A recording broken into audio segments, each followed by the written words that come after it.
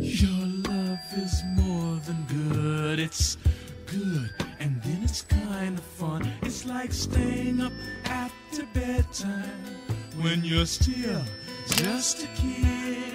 Your love is two for one, it's sweet, and then it's kind of fun. It's like a whole lot of good things roll up into candy like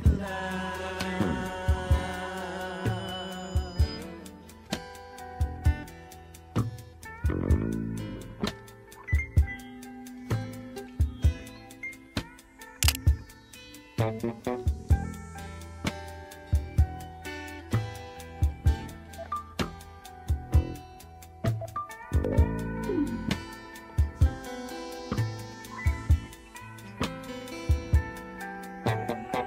Your love is a kind of special treat. Oh, personal stash. And I'm selfish with your love,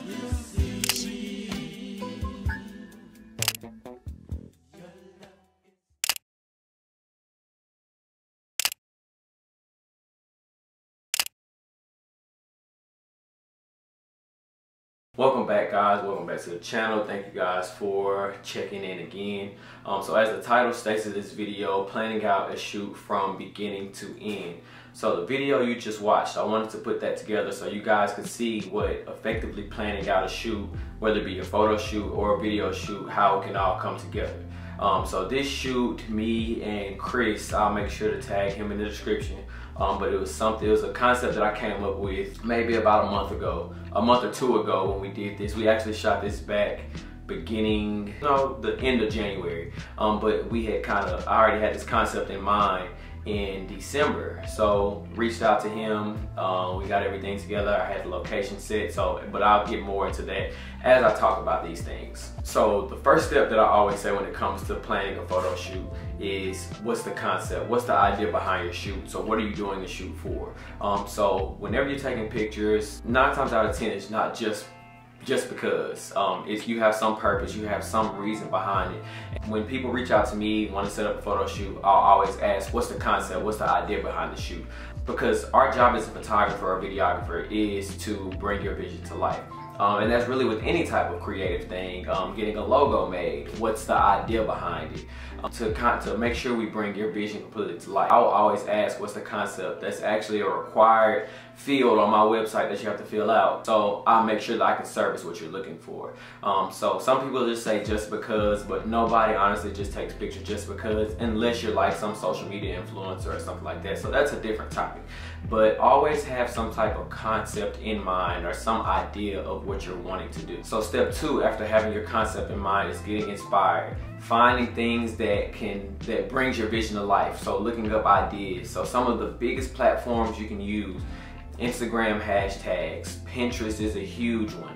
Um, even Facebook, I see some things on Facebook sometimes where some people tag me in things that I'll save for later on that I may want to use. But everybody has seen something that made them, that gave them the idea like, hey, I want to do a shoot similar to this. So there was some type of inspiration. Now I'm not saying that you have to have the whole thing all together, but there should be some pictures, something that you've seen that inspired you to want to do this.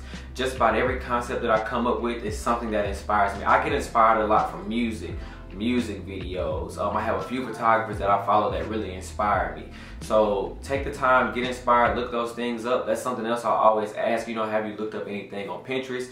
Have you found any ideas? Like send me some ideas of what you're thinking. Now I'm not going to exactly replicate that. I'm going to put my own twist on it. I'm going to put G Vision's twist on it. But make sure you have something that I can go off of or, or something to help me figure out what it is you're wanting. And then step three, plan ahead. So you know your birthday, your 30th birthday is coming up May 15th. Don't hit your photographer up the week before saying, hey, I want to take my 30th birthday pictures, but I want to do something different. I want to, I, I want to, I don't want to do the basic balloons and confetti and stuff, I want to do something different. Now you have to give us time to come up with stuff like that, especially if you're wanting to do something out of the box, especially if you're wanting to do that, do something that may go viral. Like it takes a lot of planning to make these shoots come together. So this video photo shoot that I just did with Chris, I had the concept in mind December. We didn't do this shoot until end of January, which still was pressed for time, but I already had uh, location set, uh, the date that it was gonna be. Like I had everything in line. I honestly just needed a model